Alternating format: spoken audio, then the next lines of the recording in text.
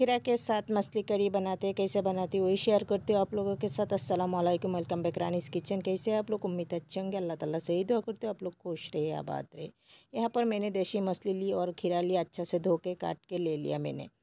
तो गैस पर मैंने कढ़ाई रख दी, थोड़ा सा ऑयल डाल दिया सरसों का। ऑयल गर्म हो गया, अब इसमें प्याज डाल दिया, थोड़ी देर भून लेती हूँ प्याज को। थोड़ी देर मैंने प्याज को भून लिया। अब मैं मसाला डाल दिया, जीरा, धनिया का पाउडर, हल्दी पाउडर, मिर्ची पाउडर, स्वाद अनुसार नमक थोड़ा सा पानी डाल के अच्छे से भून लेती हूँ मसाला को। तो मसाला भुनने के बाद मैंने खीरा और मछली को डाल दिया। मैंने मछली फ्राई नहीं किया। खीरा को, खीरा और मछली को अच्छे से ढक दिया, डाल के, क्योंकि इसमें पानी नहीं डालूँगी। खीरा से ऐसे ही पानी निकल आते हैं तो अच्छा से भूनना हो गया। अब मैं फाइनल पानी डाल दिया। ये बहुत ही हेल्दी होता है, क्योंकि मसाला बहुत कम और खीरा के साथ बनाई हूँ मैंने। खीरा तो ऐसे भी अच्छा है, सभी लोगों सभी लोगों को पता है।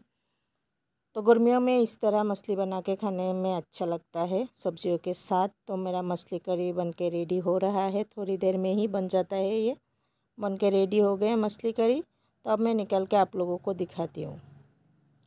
देखिए कितना प्यारा सा कलर आया है मछली करी का। बहुत ही प्यारा कलर आया है और खाने में भी उतना ही टेस्टी हुआ था। रोटी चावल के साथ हम लोग अच्छा से खा सकती हूँ।